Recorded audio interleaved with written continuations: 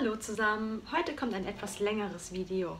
Dieses Video könnte vor allem für die Leute interessant werden, die das erste Mal nach Tokio reisen wollen. Denn heute stelle ich euch mal die Stadt mal ein bisschen grob im Gesamten vor. Ich werde nämlich ziemlich häufig auf Twitter angeschrieben und gefragt, ob ich irgendwelche Empfehlungen hätte oder ob es irgendetwas gibt, was man unbedingt ansehen müsste. Das gibt es auf jeden Fall. Allerdings bin ich der Meinung, dass, ja, wie soll ich sagen, jeder Tourist ja eigentlich so seine eigenen Interessen hat und sich der Geschmack auch hier und da unterscheidet. Deswegen dachte ich mir, liste ich euch einfach mal alle Orte auf und äh, erzähle grob etwas dazu, was ihr so finden könnt, damit ihr euch eventuell so ein bisschen selber rauspicken könnt, welche Orte ihr besuchen möchtet. Ich denke, so könnt ihr euren ersten Trip am besten planen, wenn ihr wisst, was wo genau auf euch zukommt. Fangen wir als erstes bei einer kleinen, aber essentiellen Sache an, und zwar dem Flughafen. Tokio hat insgesamt zwei Flughäfen, Haneda und Narita. Es ist leider immer noch so, dass die meisten internationalen Flüge Narita ansteuern. Wie ihr aber auf der Karte sehen könnt, ist Narita wirklich wahnsinnig weit außerhalb. Es ist natürlich kein Problem, nach Tokio zu kommen. Es gibt Busse, die allerdings ein bisschen Zeit in Anspruch nehmen und es gibt den Nex. Wenn ihr aber irgendwie die Möglichkeit habt, auszusuchen, an welchem Flughafen ihr ankommt, würde ich euch wirklich ans Herz legen, Haneda zu wählen. Der Flughafen ist nicht nur wunderschön, er ist auch wahnsinnig nah an Tokio dran. So könnt ihr diesen Flughafen auch überall mit Shuttlebussen erreichen oder halt von Shinagawa aus mit der Bahn. Ehe ich jetzt auf alle einzelnen Teile in Tokio eingehen werde, äh, nur mal grob sowas wie Cat-Cafés, äh, Karaoke-Bars, Izakaya, also gute Bars zum Saufen, die gibt es an jeder Ecke. Ich dachte mir, ich fange mal erstmal mit der bekannten Yamanote-Linie an. Der bekannte Kreisverkehr in Tokio, der so gut wie alle wichtigen, oder sagen wir fast alle wichtigen Touristenspots abdeckt. Fangen wir erstmal in Norden Tokios an. Dort befindet sich nämlich Ueno. Ueno ist bekannt für seinen schönen Ueno Park, eine gute Anzahl an Museen, darunter fällt auch das Tokyo National Museum. Und gleich nebenan liegt der Ueno Zoo. Direkt an der Station liegt auch noch der Amayayoko-cho oder kurz Ameyoko. Dort befinden sich ein paar Straßen mit interessanten Marktständen.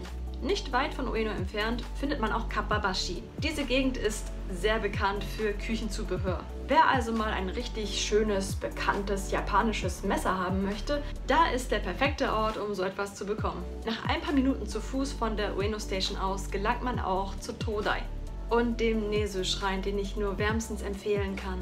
Gehen wir nun Richtung Uhrzeigersinn weiter. Die nächste Station wäre eigentlich Okachimachi, allerdings gibt es da nicht so interessante Sachen für Touristen, sagen wir mal so. Dafür hat die Station darauf aber wesentlich mehr zu bieten, und zwar Akihabara, das Otaku-Mekka.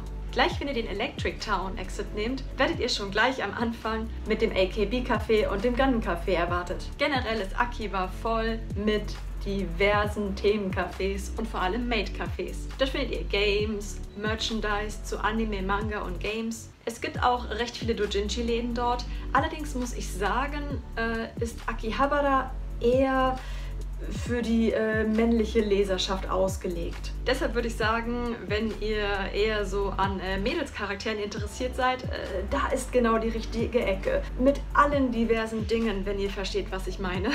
So, nächste Station, gehen Süden und zwar wäre das Kanda. Kanda hat in der Regel eigentlich nicht so viel Interessantes zu bieten für Touristen, ähm, da dort ziemlich viele Offices stehen.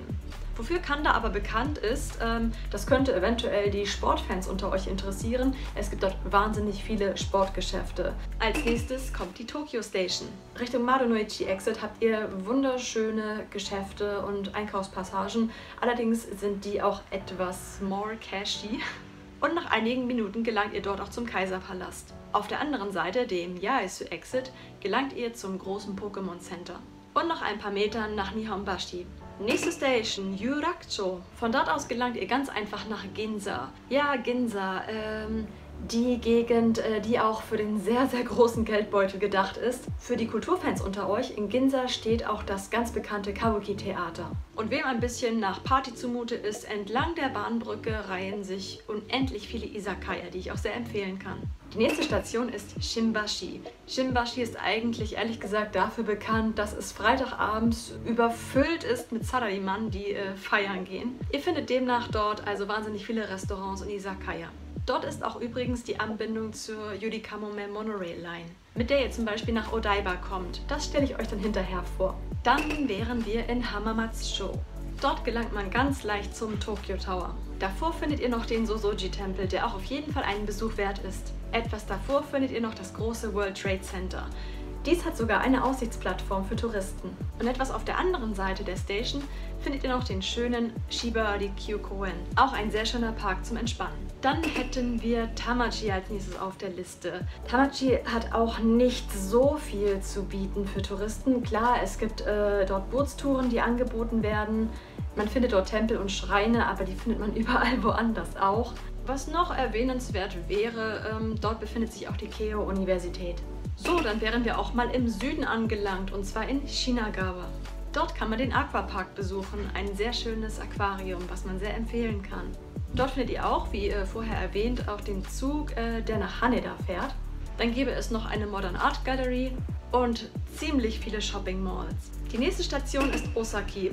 Die ist auch ehrlich gesagt relativ unspektakulär, weil sich dort eigentlich nur Büros und Geschäfte befinden. Gotanda. Dort kann man an einer Japan Craft Beer Tour teilnehmen. Das Tokyo Metropolitan Teian Art Museum und den Habuen Garden kann man dort auch besuchen. So, dann wären wir in Meguro. Meguro, ja, der ganz bekannte, äh, vor allem Sakura-Spot. Ähm, das ist der Meguro-gawa, der sich äh, nicht sehr weit von der Station befindet. Erwähnenswert für diesen Ort wäre noch der Ryusenji-Tempel, das Tokyo Metropolitan Museum of Photography, der Meguro Sky Garden und man kommt von Meguro aus nach Jiugaoka. Eine sehr, sehr schöne, ruhige Gegend mit äh, gemütlichen Cafés und älteren Läden. Also dort kann man auch sehr gut abhängen als Tourist. In Meguro findet man auch das Maeda-Haus. Ein altes Haus im westlichen Stil, äh, das einst den Maeda-Clan gehört hat. Nächste Station Ebisu. Dort findet ihr den Jebisu Beer Garden. Eine gigantische Anlage voller Shopping Malls, Kinos und allem möglichen, um sich gut die Zeit zu vertreiben. Wie der Name schon sagt, findet man dort auch das Museum of Yebisu-Bier. Dann wären wir auch schon in Shibuya. Ja, was ist das Markanteste in Shibuya? Wer wartet jeden Tag eisern vor der Station? Genau, Hachiko findet ihr dort. Und direkt daneben die super mega bekannte famous Shibuya Kreuzung. Direkt dort fällt auch euer Blick direkt auf das 109er. Ein riesiges Kaufhaus, was ich allen Mädels sehr empfehlen kann. Für die Musikfans unter euch, äh, in Shibuya befindet sich auch das Bunkamura, eine sehr schöne Konzerthalle. Und falls ihr zu Halloween in Tokio sein solltet, dort findet auch jedes Jahr eine riesige Halloween-Party statt und die Straßen sind voller kostümierter Leute, auch sehr zu empfehlen. Direkt am Anschluss kommt Harajuku. Ehrlich gesagt kann man also meiner Meinung nach von Shibuya nach Harajuku auch super laufen und sich ein Zugticket somit sparen. Dort ganz bekannt die Takeshita-dori, eine Straße voller Klamottenläden und äh, voll im wahrsten Sinne des Wortes. Also meine Empfehlung äh, persönlich, wenn ihr dorthin gehen wollt, geht äh, wochentags relativ früh dahin, denn äh, sowohl nachmittags unter der Woche als auch am Wochenende ist es einfach brechend voll dort. Und zu Harajuku gehören natürlich auch die Crepe. Überall findet ihr super tolle Crepe-Läden. Ansonsten ist Harajuku auch sehr bekannt für sein crazy fancy Food. Direkt an der Station könnt ihr auch zum Yoyogi Park und natürlich den bekannten Meiji Jingu besuchen. Von Harajuku aus gelangt ihr auch zu Omotesando. Eine sehr schöne Einkaufsstraße mit vielen Läden und auch sehr interessanten verwinkelten Gassen. Die nächste Station ist Yoyogi, äh, dort befindet sich eigentlich nur äh, nennenswertes ein Samurai-Fotostudio und viele Bars und Restaurants. Die nächste Station hingegen hat wieder viel mehr zu bieten. Shinjuku. Und ich warne euch vor, die Station ist ein kleiner Irrgarten, also passt auf, welchen Exit ihr nehmt. Ich empfehle immer ehrlich gesagt den Kabukicho ähm, Exit zu nehmen, also den East Exit, denn äh, so kommt man meiner Meinung nach am einfachsten raus. Shinjuku ist bekannt für übermäßiges Shoppen. Ihr findet dort den Shinjuku Kyoen, einen wunderschönen Park, Kabukicho, das besonders in der Nacht wahnsinnig eindrucksvoll ist, das Tokyo Metropolitan Government Building, ähm, das auch eine Aussichtsplattform hat, das Robot Café, ein Samurai Museum und ganz bekannt natürlich Godzilla über dem Kino. Ihr seht schon, in der Gegend kann man wahnsinnig gut seine Zeit totschlagen. Die nächste Station danach ist Shin-Okubo. Diese Gegend ist wahnsinnig bekannt für seinen Korean Stuff. Dort findet ihr also koreanische Läden, Restaurants, Bars, alles Mögliche, was sich um Korea dreht. Es ist quasi das koreanische Pendant zu Chinatown. Als nächstes kommen äh, wieder zwei recht unspektakuläre äh, Stationen für Touristen meiner Meinung nach. Takada und Mejiro. Da gibt es meiner Meinung nach nicht so viel Spannendes. Dafür aber dann in der nächsten Station. Und zwar Ikebukuro. Wow, da weiß man gar nicht, wo man anfangen soll, weil es dort so viel zu entdecken gibt. Nehmt den East Exit und ihr gelangt nach ein paar Metern schon zum Sunshine City.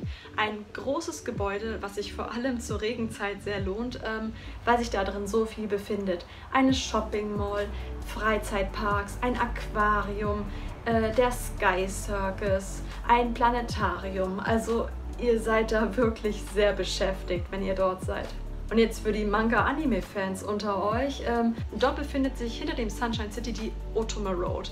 Also wenn ihr gerne cosplayt, irgendwie Cosplay-Stuff braucht oder Dojinshi sammelt oder Merchandise auch Secondhand haben wollt ähm, oder auf Idol-Sachen steht ähm, oder Musicals, da werdet ihr sowas von fündig. Ähm, dort könnt ihr auch, ähm, vor allem im Mandarake, wenn ihr, also wenn es euch mal passieren sollte wie mir, dass ihr euch mal was doppelt kauft, ähm, könnt ihr dort auch problemlos als Tourist ähm, eure Sachen auch wieder verkaufen. Ihr braucht dazu nur lediglich euren Passport.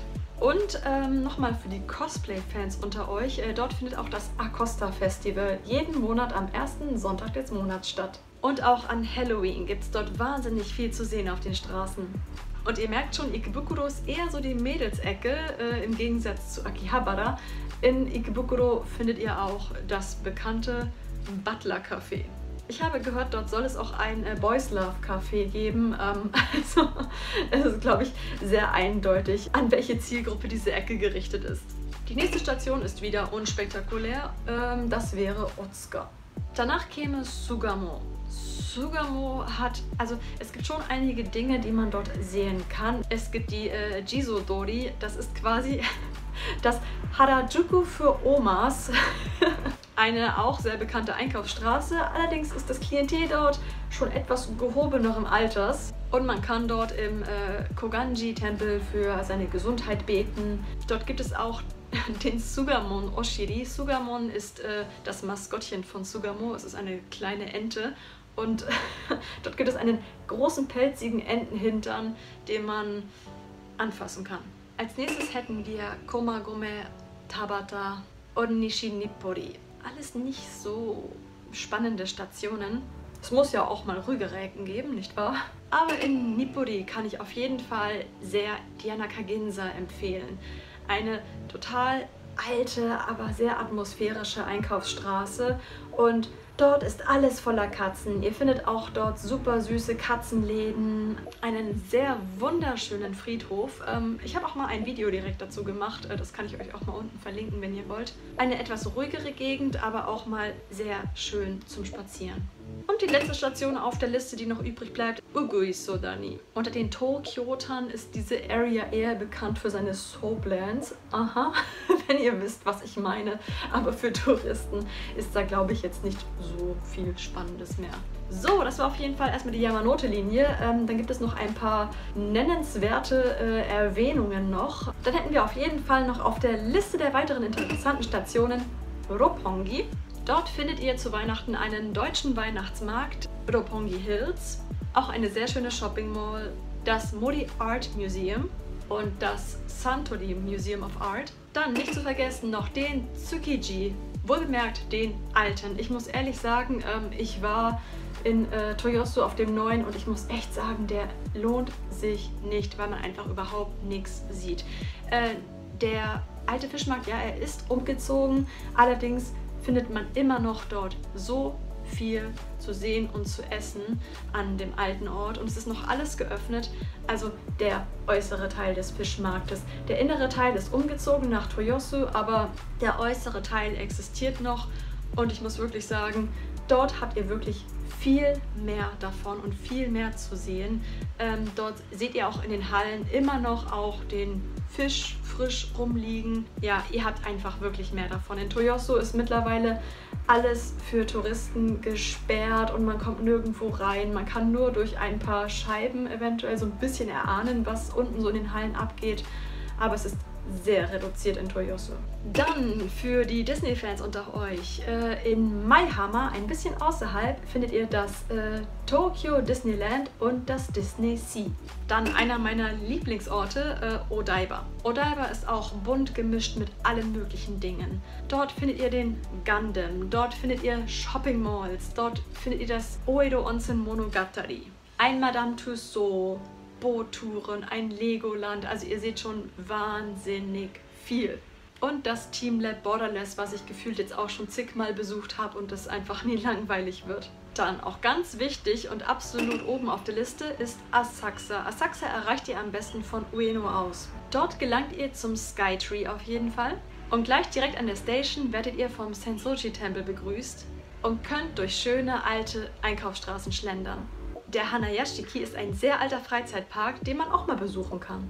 Man kann entlang des Sumida-Flusses Bootstouren machen und die Gegend eignet sich super, um einen Yukata auszuleihen oder zu kaufen. Eine andere schöne Ecke ist auch noch Kichijoji. Diese Gegend ist sehr beliebt für seine Cafés und Einkaufsstraßen. In der Nähe findet ihr auch den Inokashira Park und das Ghibli Museum. Ein bisschen weiter in der Ecke gibt es auch noch den Nakano Broadway. Ein Mecker für Second-Hand-Dinge aller Art. Figuren, Schallplatten, CDs, äh, Mangas, Animes, also Cosplay auch, alles Mögliche. Wem ein bisschen mehr nach Action zumute ist, dem empfehle ich Soidobashi, denn dort befindet sich Tokyo Dome City, auch ein Freizeitpark. Wenn ihr an traditionellen japanischen Sport denkt, welcher fällt euch ein? Richtig, Sumo. In Ryogoku findet ihr eine riesige Sumo-Arena und das Tokyo Edo Museum findet ihr auch direkt daneben, das ich auch sehr empfehlen kann. Wem wieder ein bisschen mehr nach Schlendern zumute ist, dem empfehle ich Kagodasaka.